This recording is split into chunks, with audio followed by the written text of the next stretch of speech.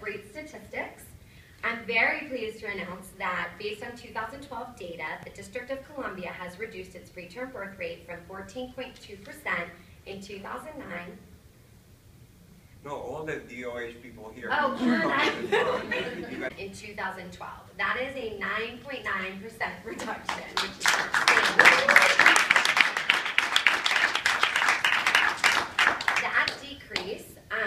actually gives more than 130 babies each year a healthier start in life. So on behalf of the March of Dimes, I am pleased to honor your achievements and present you with the Virginia Apgar Award. Thank you.